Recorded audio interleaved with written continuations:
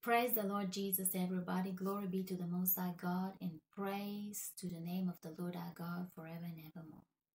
Lord, to you be all the glory, honor, power, praise, and adoration forever and evermore in Jesus' name. Amen.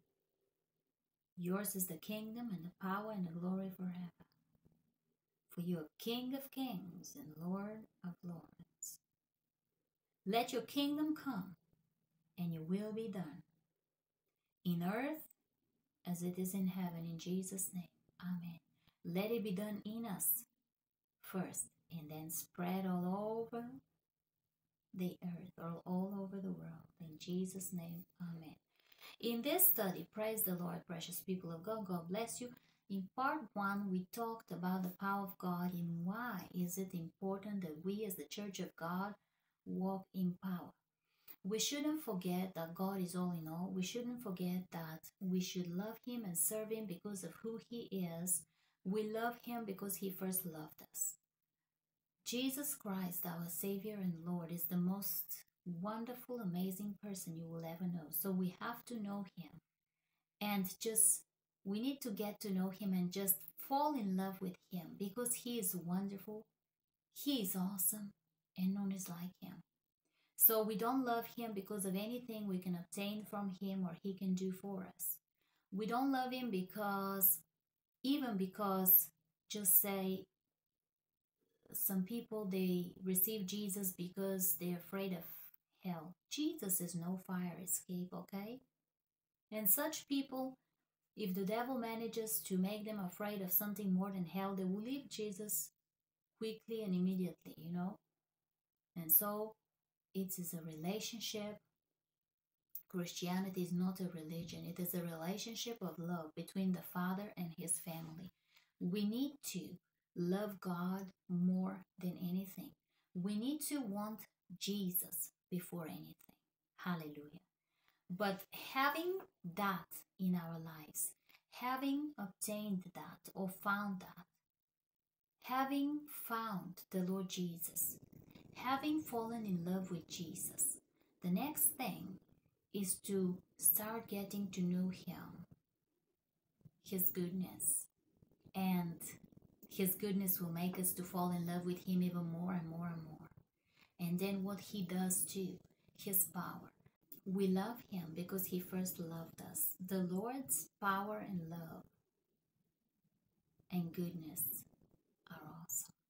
But when we have gotten to this level where we love the Lord more than anybody or anything, when we want nothing before Jesus, Hallelujah. Then we've gotten things right and our foundation right. Hallelujah. And we can continue to growing and increasing in the Lord our God in the name of Jesus. Hallelujah. And so mighty works are a powerful witness that testifies to people and even to territories of our mighty God and who He is and what He does. And it breaks away the myth, the, the, the belief that people have that God is just a story, that God is just made up, that God is just, that God and Christianity is just consolation for failures. Hallelujah. But when the presence of God is there, people feel love which they have never felt before. When the power of God is there, there's real changes, there's real miracles, signs, and wonders happening. Bondages are broken. People's eyes are open and now they see. You can't meet with God and remain the same. It is not possible that you will meet with God and your life will remain the same. It's not possible. Okay? Hallelujah. In Jesus' mighty name, amen. It is not possible. So God wants to reveal his power and his presence to us, in us, and through us. Hallelujah. You know, some people believe that God is above. And God is above in only one sense that he is our head Christ is the head of the church. He will always be above us because He's our boss. He's our commander in chief. Hallelujah. Any power and authority that we have, we got it from Him. Without Him, we're nothing.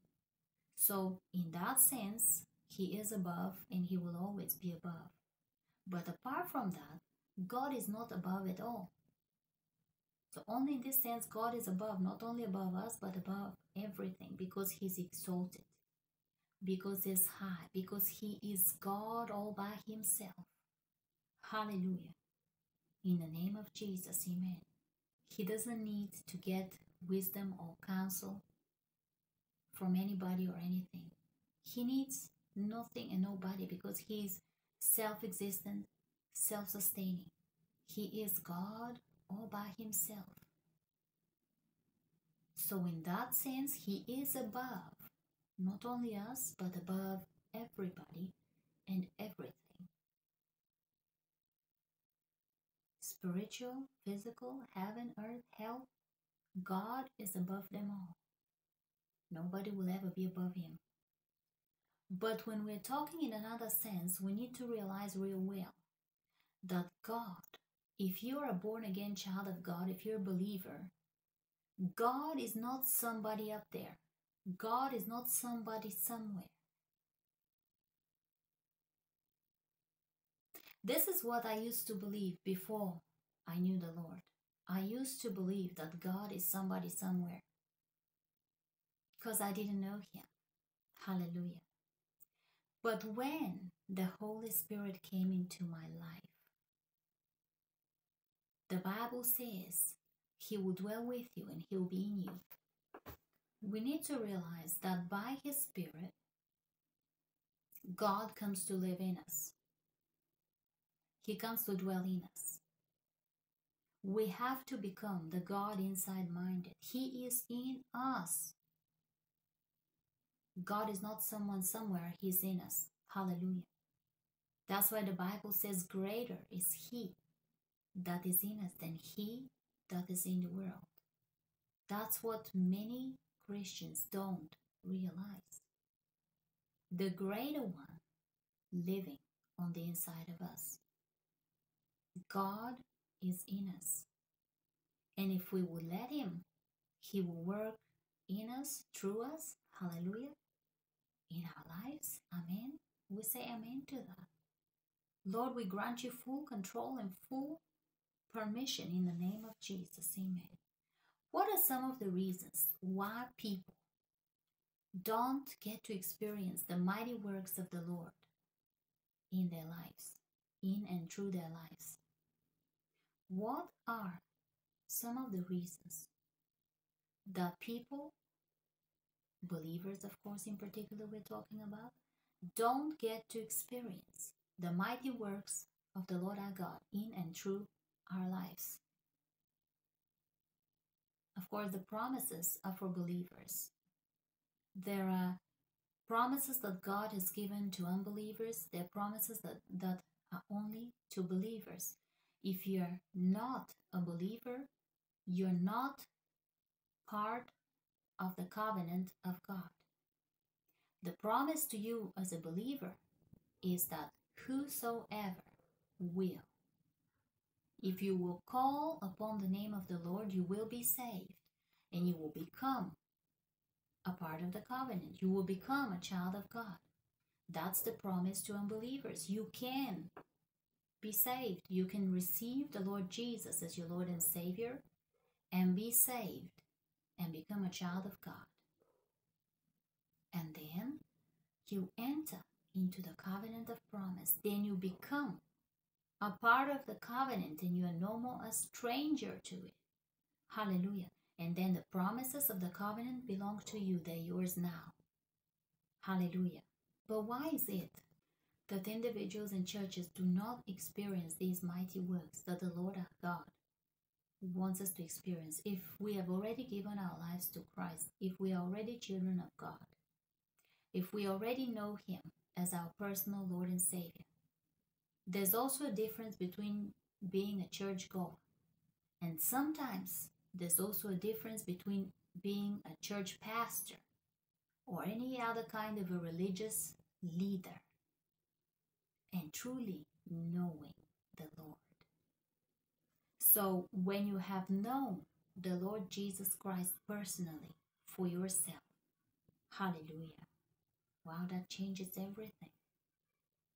And you become a child of God, and you're born again, and you're saved. What are some of the reasons that are stopping things that are stopping the power of God flowing through us mightily? What are some of the reasons that some believers are not able to command mighty results or mighty works for Christ that will evangelize to territories, that will convert territories and bring them under the Lordship of Jesus. What are some of the reasons? Let's look at that. I'm going to give four or five reasons. In fact, they're five, but we could group two together and they can become four.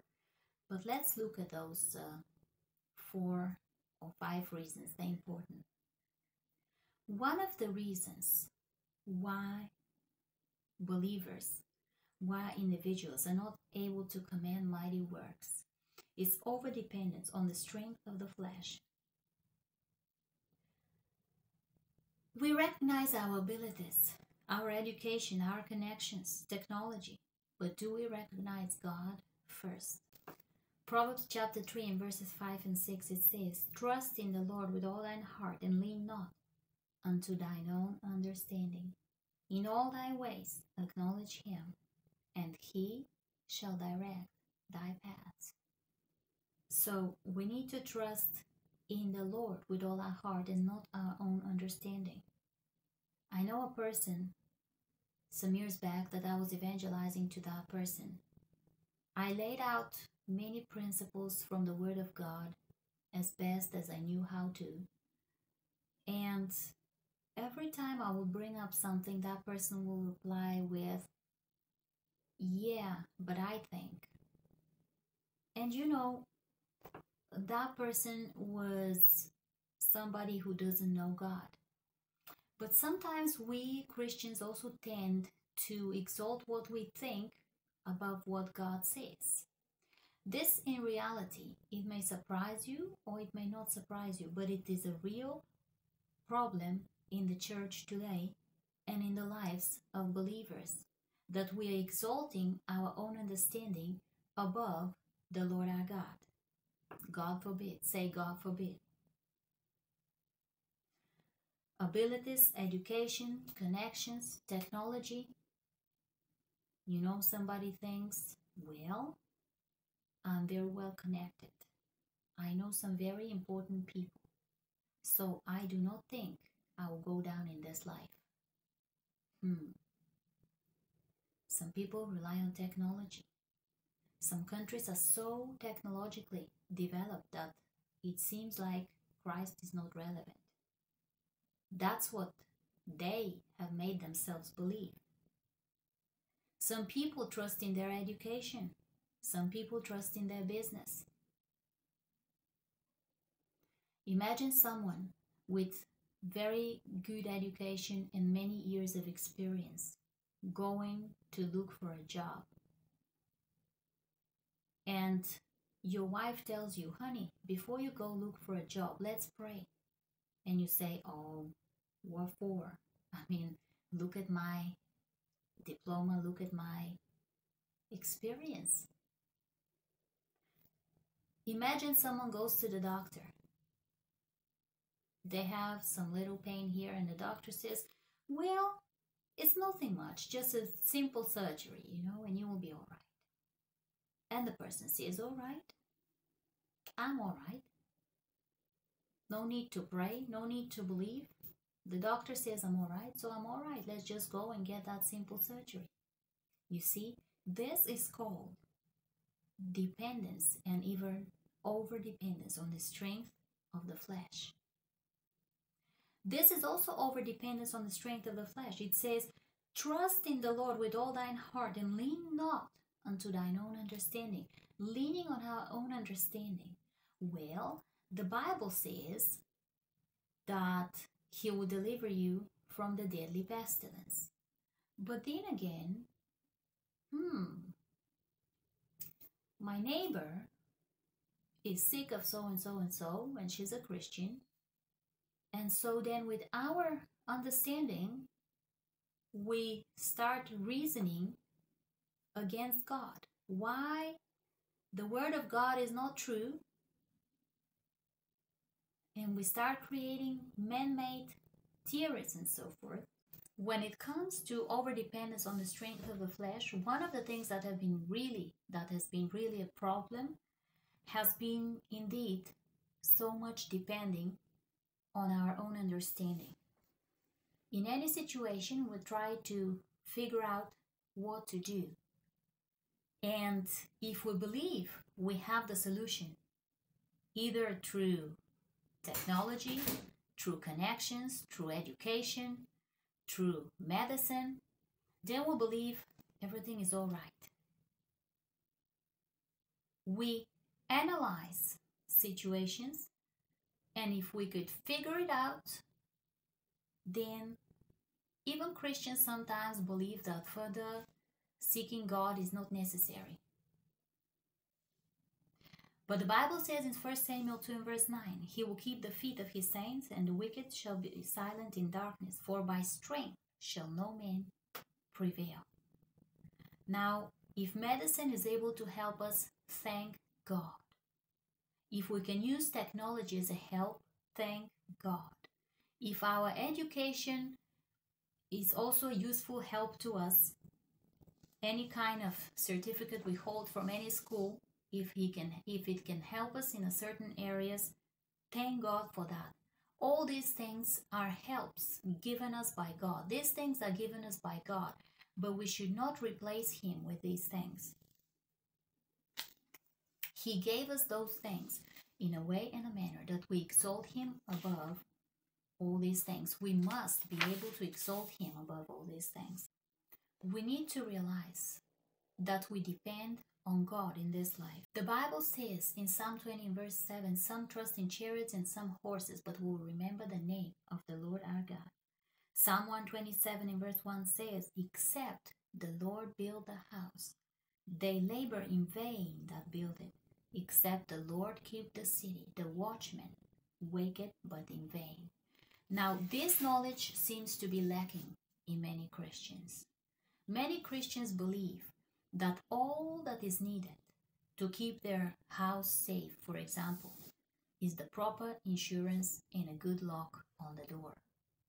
And we tend to shove God aside. We tend to leave Him aside. We tend to, probably if we're really Christians, it happens unconsciously, but we just tend to really believe that God is not really relevant in every area of our lives. We can believe that He can be relevant here and there to pray for some certain issues, but not really for everything. Because we believe there is so much we can take care of ourselves. And that's the lie and the deception of devil. Because if God build not the house, they labor in vain that build it. If they labor in vain that build it means that they do have all the materials, all the equipment, all the strength, all the men. In fact, everything that takes that it takes for the building of house, it means it's available and it is there. But the Bible says that unless God build the house, they labor in vain that build it. Some Christians really need to be reminded of this to stop relying so much on the strength of the flesh and to depend and rely heavily on the Lord our God.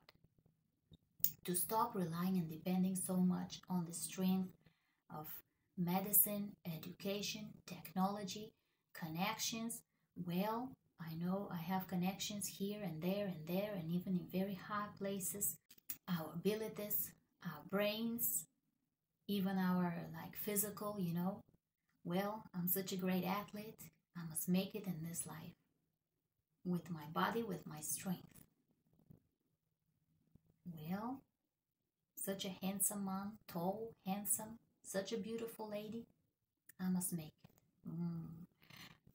unless the Lord build the house. Except the Lord build the house, they labor in vain that build it. Except the Lord keep the city, the watchman waketh but in vain. We should remember this. We should remember all this. Some trust in chariots, some in horses, but we will remember the name of the Lord our God. Psalm 60, 11 and 12 says, Give us help from trouble, for vain is the help of men. Through God we shall do valiantly, for he it is that shall tread down our enemies.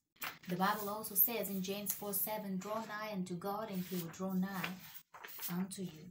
Hallelujah. So we need a functional relationship with the God of heaven, not only relying on the strength of the flesh, on the on the physical and material assets and things which we have, which we possess as a person, our strength, our abilities, our talents, the things we have around us. We should look on the inside, on the God inside us.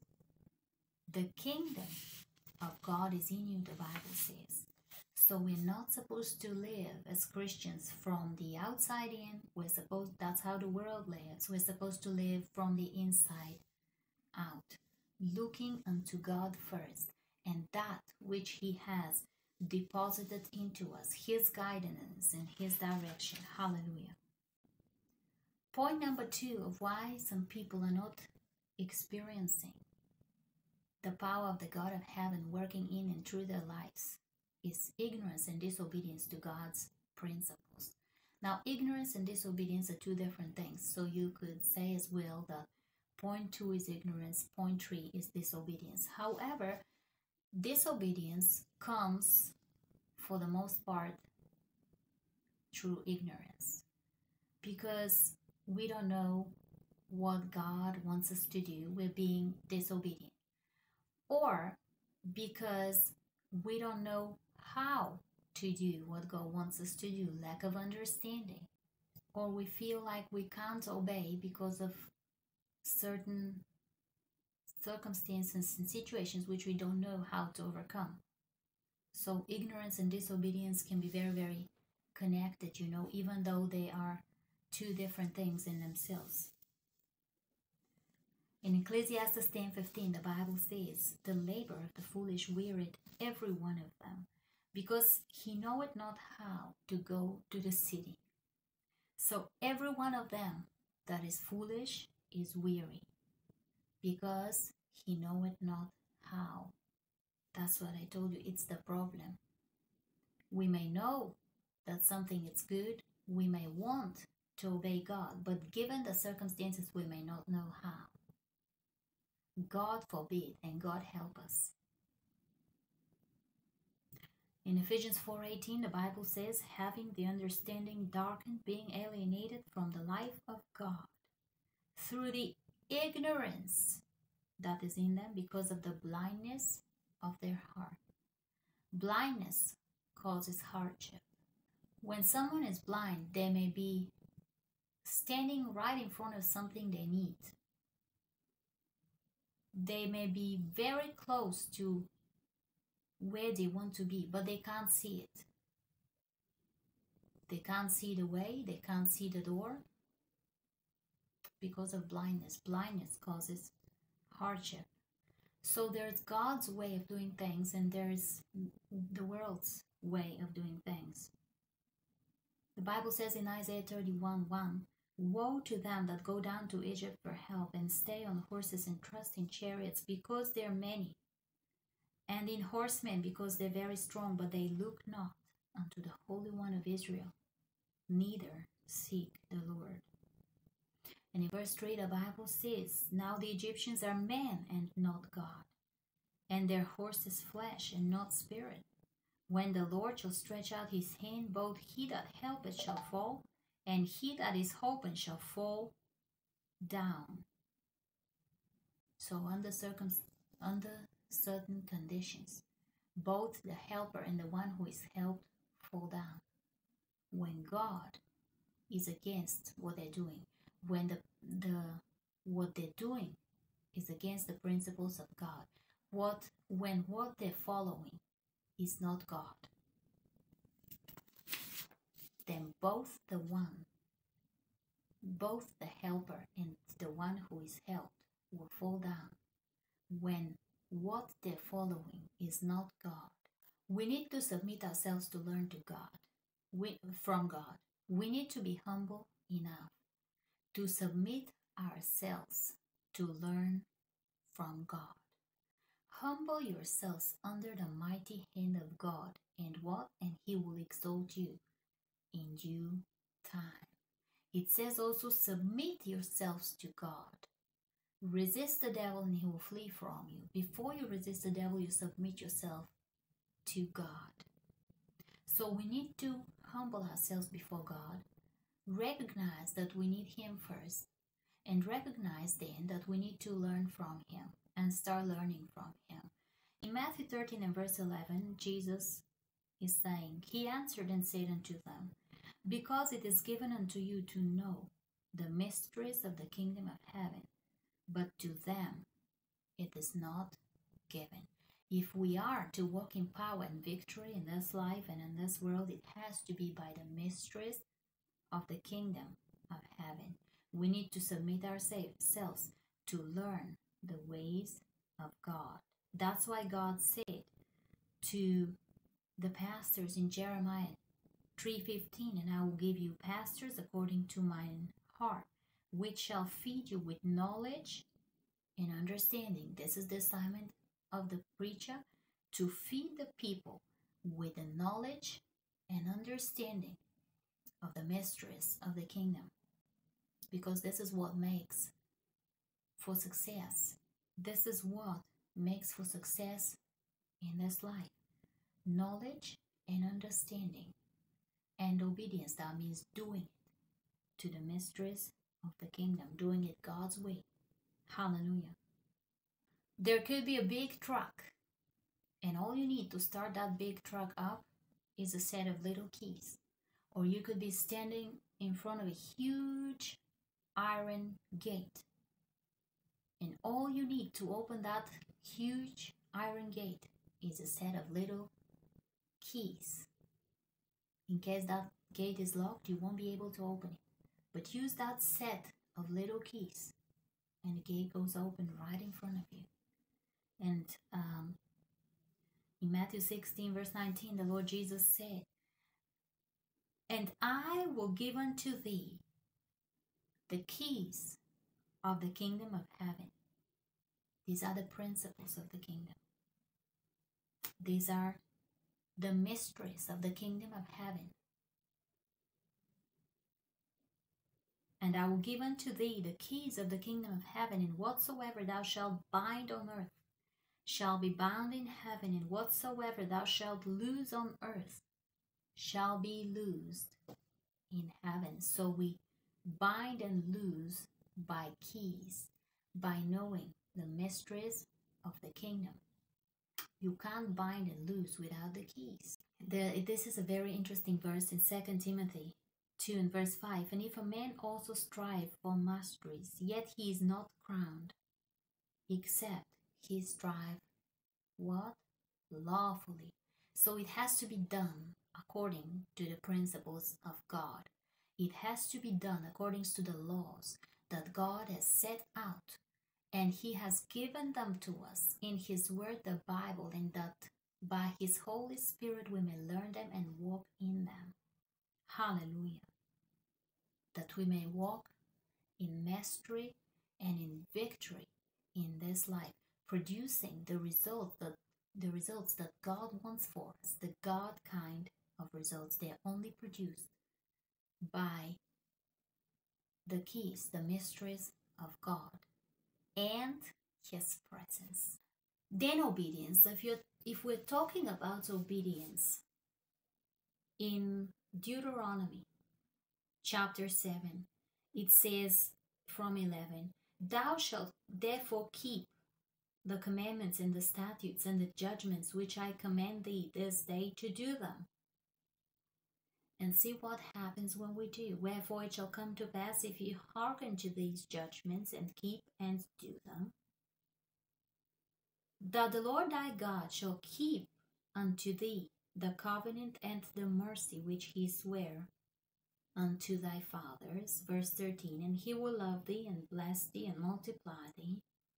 He will also bless the fruit of thy womb and the fruit of thy land, thy corn and thy wine and thine oil, the increase of thy kind, the flocks of thy sheep, in the land which he sware unto thy fathers to give thee. Increase. Thou shalt be blessed above all people. There shall not be male or female barren among you or among your cattle. So, obedience is the condition. It says, The fruit of your womb shall be blessed. It is one thing to have a child, it's another thing for the fruit of your womb to be blessed. In Jesus, these things are made available to us and they're made possible. Hallelujah. Hallelujah. Thank you, Father. Our children are blessed.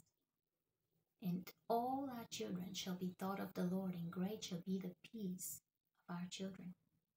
We can stand on the promises. And then we have Deuteronomy 28. And then in verses 1 through 14, you read the blessing that proceeds from obedience. That's the condition, obedience. So, everything God wrote it, He meant it. He says in verse 12, He says, Thou shalt lend to many nations, thou shalt not borrow. So we need to obtain the grace for complete obedience in Jesus' name because obedience brings the blessing into our lives. Disobedience brings the curse. That's how it is, and it has not changed.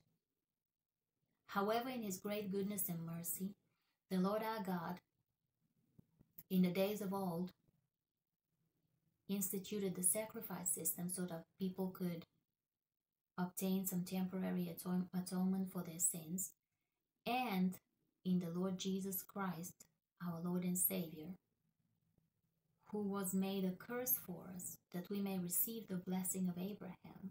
In Galatians chapter 3 and verses 13 and 14, Christ hath redeemed us from the curse of the law, being made a curse for us, for it is written, Cursed is every one that hangeth on a tree that the blessing of Abraham might come on the Gentiles through Jesus Christ, that we might receive the promise of the Spirit through faith. And in verse 29 of Galatians, it says, And if ye be Christ's, then are ye Abraham's seed and heirs according to the promise. But it is obedience what activates the blessing in our lives. And it is disobedience what activates the curse. So we repent, O Lord, and we obtain the grace for complete obedience. In Jesus' mighty name, amen. And we plead the blood, we repent. Thank you that it covers all our mistakes, but we obtain from you the grace to obey. Hallelujah. The blessing comes as a result of our obedience and walking in the principles and laws and statutes of God, understanding and applying, of course, the mysteries of the kingdom. That's what brings dominion. Third reason why believers don't exhibit mighty works and or excellent results in their lives. Even though regardless, you know, the substitutionary sacrifice of Christ on the cross for us. He died to meet all our needs, all the needs of humankind, spirit, soul, and body. But some are not experiencing in their lives. It is not their experiential achievement in this life. Some are not experiencing it in, it in this life. Why not? Reason number three, point number three, demonic oppression. Ephesians 6 and verse 12 says, For we wrestle not against flesh and blood, but against powers, against principalities, against powers, against the rulers of the darkness of this world, against spiritual wickedness in high places. It gives us the structure of the demonic kingdom here. 1 John 5:19 says, "And we know that we are of God, and the whole world lieth in wickedness." In other words, no part of the world is spared. 1 Thessalonians 2:18 says, "Wherefore we would come we would have come unto you, even I Paul once and again, but Satan hindered us." So what is Paul telling us here? Paul is telling us that Satan can hinder man. Satan can try and make man less effective.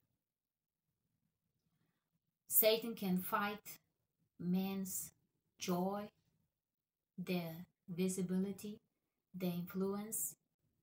Ephesians 6:11 Put on the whole armor of God that ye may be able to stand against the wiles of the devil. Now, I want you to notice that in Isaiah 54 17, the Lord gives us a wonderful promise, and He says, No weapon fashioned against you shall prosper. No weapon that is formed against thee shall prosper. Now, it is formed and fashioned. That requires creativity and observation, okay? So, Satan is also creative and he carefully observes which part of the armor you don't have. You see, that is why um, ignorance is such a problem, and that is why disobedience is such a problem. Because when we receive light from the Lord our God and we decide to obey, then the dark areas in our lives that Satan can use disappear. But we have to remember that God has given us weapons of victory. He has given us the power of His Word, the power of the Word of God to overcome Satan. And this is the victory that overcomes the world, even our faith. He has given us the power of the name of Jesus to use against Satan. Hallelujah. To bind him and to cast him out of our lives. He has given us the power of the blood. Because the blood of Jesus speaks better things than that of Abel. The blood of Jesus speaks of mercy, and the mercy of God covers our mistakes. Even when we failed, even when we have not been able to follow all His principles and all His instructions, but His mercy speaks. God has given us weapons the power of His word, the power of the name of Jesus, and the power of the blood. Hallelujah. In the name of Jesus. Never forget that. The power of the word, the power of the name, and the power of the blood as weapons of victory and also instruments of deliverance. Reason number four why believers don't experience excellent results in the power of God in their life is that they trivialize and ignore the place of spiritual empowerment. Some say, well, this power thing is only for preachers, you know, and some for other reasons, because of ignorance and so forth, they believe that the power of God cannot function in their lives, or maybe are not interested in it, or maybe just believe that whenever they need it, they can run to so and so preacher for the solution. In Ephesians 6 and verse 10, the Bible says, Finally, my brethren, be strong in the Lord and in the power of his might. We are in the days of his power. We are in the days of his power. The power of the Lord in the earth will increase in the last days. It will increase. And it will increase every time when there is hunger and man hungering and thirsting for him and seeking him for revival. Men who are ready to learn from him and obey him. Hallelujah. Men who are ready to walk in his principles and his power and his presence and cast the devil out. And uh, first and foremost, actually, men who are ready to put God first in their lives. Hallelujah. Love Him with all our hearts. Seek God first. His kingdom and his righteousness, desire nothing before Jesus. In Isaiah 10 27, this is an awesome scripture. And it shall come to pass in that day that his burden shall be taken away from off thy shoulder, and his yoke from off thy neck, and the yoke shall be destroyed because of the anointing. The yoke of bondage is not destroyed because of good intentions. It's not destroyed because you're tired of wearing it. It's not destroyed because it's been there for a long time. It's destroyed because of the anointing. And the Bible also says that the truth shall make us free. And the truth is the word of God. So deliverance comes through different ways, but we have to realize the importance of it. It is important that we are delivered. Through whichever way we're able to obtain our freedom, but we should make sure we're free in the name of Jesus. Amen. We need God's power. Why do we need spiritual empowerment? Because God's results cannot be produced by the strength of the flesh. It will take God's ability to produce God's dimension of results. Furthermore, the demand of your destiny does not require human power alone. A major part of what you need in life has to be outsourced beyond this realm. You know, for example, exercise and healthy eating, they're all good things. And I do believe that with this knowledge, that if it's not the Lord who builds the house, they that build it labor in vain. So we should realize that our trust is in God first. We don't put our trust in exercise and healthy eating. But these things help our physical bodies. And even much more importantly than this, this is something that people in today's world ignore. Ignore very massively. People uh, people just ignore this principle. And this is that our human body needs proper rest, proper sleep. Hallelujah. Even our brain, we don't need to be occupied with things the whole of our waking time. It is very powerful and very important to have a quiet time with God. That's why they call it quiet time. But even in our day, if we are constantly occupied with something, we need we need time for rest. We need to give our brains rest. We need to give our bodies rest. It is very important. And yet, all those physical efforts, they're good. But exercise and good food, for example, they don't cast out demons. So we need to understand this that unless the Lord built the house, all our labor of physical things is in vain.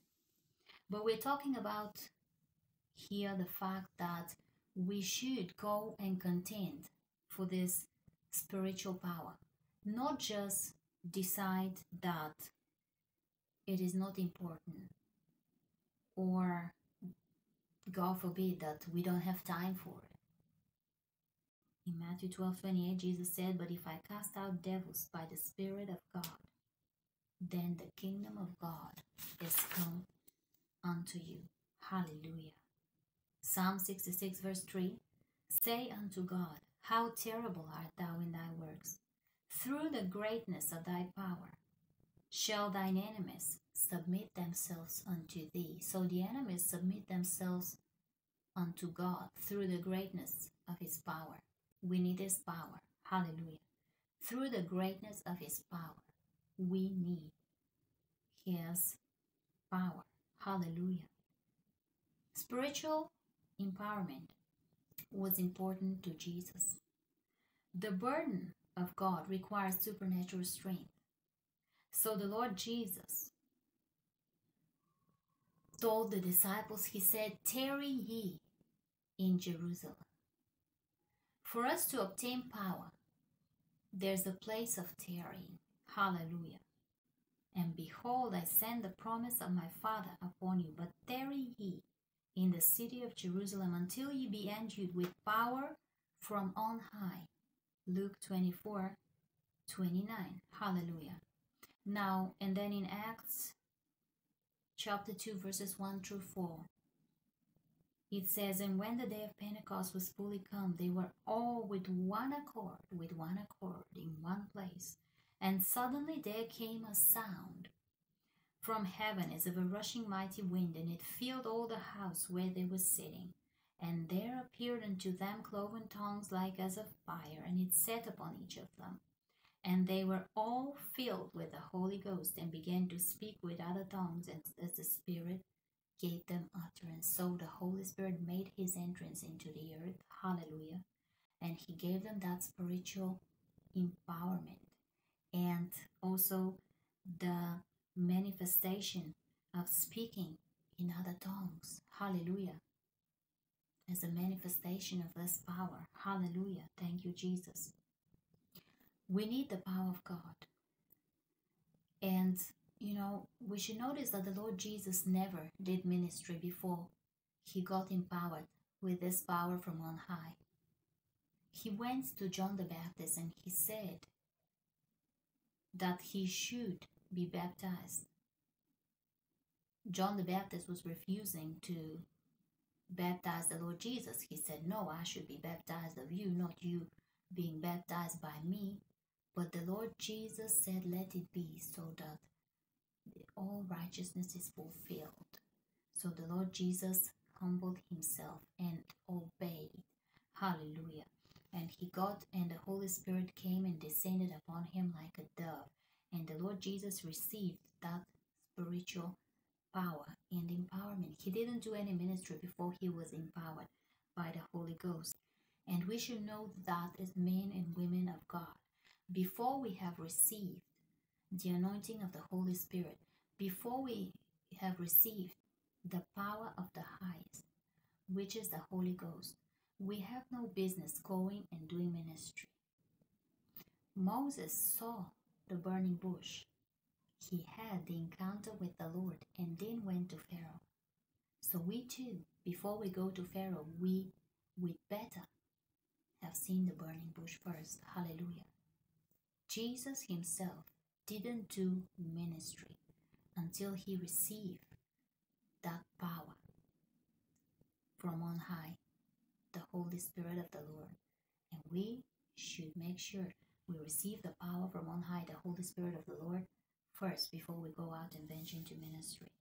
Spiritual empowerment. So, spiritual empowerment was important to Jesus. He said to the disciples, Tarry ye in Jerusalem until the Holy Spirit has come. And also, when he sent out his disciples to minister, he gave them power. The Bible says, look at it in uh, Mark 6 and verse 7 And he called unto him the twelve and began to send them forth two by two and what? And gave them power over unclean spirits. And he said to them, that's in Mark 10 8, heal the sick, cleanse the lepers, raise the dead, cast out devils. Freely ye have received, freely give.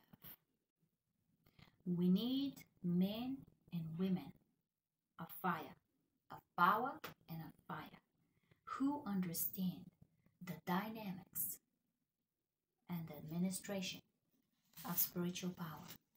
Because until then, our territories will continue to say that the church is irrelevant and even point fingers at us as the source of their issues and their problems. So please, as God sends you, and honestly speaking, it doesn't matter as if God sends you into full time ministry or just to evangelize to your neighbor one on one. Don't let the Lord only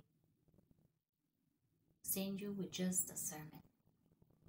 Don't go only with just a sermon. Don't go only with just a sermon. Don't go in the wisdom of men and in the wisdom of men's works. Go with the word of the Lord and empowered with his power. Go with the Holy Spirit being with you, being in you, being with you, being all around you, working with you. The Bible says in Mark 16 and verse 20, and they went forth and preached everywhere. The Lord working with them and confirming the word with signs following. Amen. Mark 16, verse 20. And they went forth and preached everywhere. The Lord working with them and confirming the word with signs following. And confirming the word with signs following. Father, we thank you, we praise you, we bless your holy name forever. In Jesus' mighty name. Amen.